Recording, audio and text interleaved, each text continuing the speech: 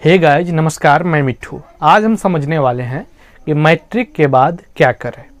ठीक है मैट्रिक के बाद क्या रखें? सीधे भाषा में समझे कि साइंस से करें या आर्ट्स से करें या कॉमर्स से करें। कौन बेस्ट है? हम समझते हैं कि मैट्रिक के बाद क्या रखें। इस पर भी हम बातें करेंगे। इसके बाद आ, कौन बेस्ट हैं तीनों में से?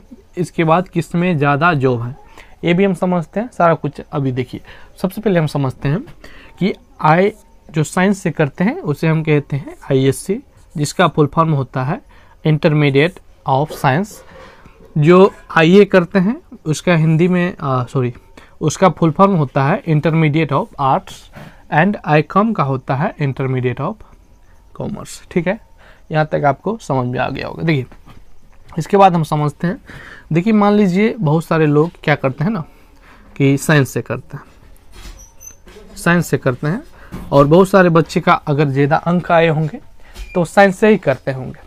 लेकिन हम आपको बता देना चाहते हैं, दो तीन चीज़ों को आप साइंस से ही करना है, साइंस से कीजिए, लेकिन दो तीन बात आप याद रखें। सबसे पहला कि मैट्रिक के बाद क्या रखें। आप कुछ भी रखें, लेकिन जिस क्षेत्र में आपको आगे जाना है, वो चीज़ें रखें। जैसे कि मान लीजिए तो सबसे पहले हम साइंस के कुछ चीज़ें बता देते हैं। ये साइंस से लोग जो करते हैं वो पहला मैथ से करते हैं, जिसे हम मैथ से और दूसरा आप करते हैं बायोलॉजी से, ठीक है ना? जिसको डॉक्टरी लाइन में जाना है तो वो अपना बायोलॉजी से करते हैं, और जिसको इंजीनियरिंग लाइन में जाना है वो अपना इससे करते हैं मैथ से। यहाँ तक बात आ गई।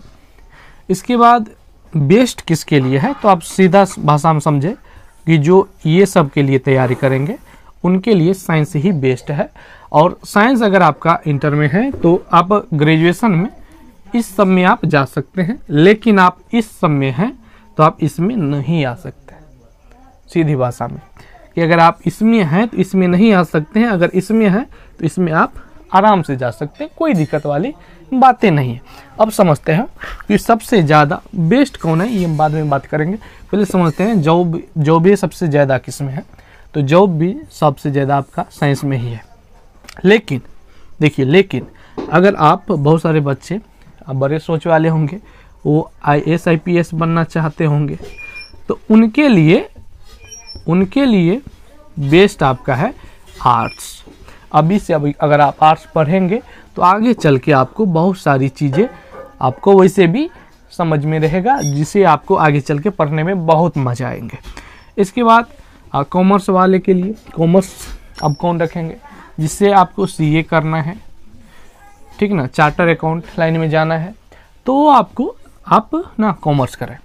इसमें भी बहुत सारी जॉबें हैं, इसमें भी हैं, लेकिन आप अपने हिसाब से देख लीजिए, हमने आपको बता दिया है कि किसके लिए कौन बेस्ट होने वाले हैं। अगर बड़ा सोचा है आई आई पी एस का तो आप आइए कीजिए, सीधा भाषाओं कि आर्ट से कीजिए हिस्ट्री सब पढ़िए, आपको वहाँ पर बहुत सारी चीज़ें समझ में आएँगी। अगर आपको इंजीनियरिंग इंजीनियरिंग लाइन में जाना है या डॉक्टरी लाइन में जाना है, तब तो आपका फाइनल ही साइंस रहने वाला है। लेकिन ऐसा नहीं कि आपका मान लीजिए नंबर ज़्यादा है तो आप साइंस रख ले, अगर नंबर कम है तो आर्ट रख ले। एक बार सोच लीजिए कि किस लाइन में आगे चल के जाना है। अगर आप बेस्ट की बात करें तो बेस्ट तो सच में साइंस है ही और रहेगा ही, ठीक ना? लेकिन जो इस सब की तैयारी करेंगे, आई की I S I P S की तो उनके लिए आर्ट ही बेस्ट है। समझ चुके होंगे आप लोग? ठीक ना? गर्मी बहुत है, पसीना आ चुका है। मिलते अगले वीडियो में। तब तक के लिए बाय जय हिंद। वंदे मातरम।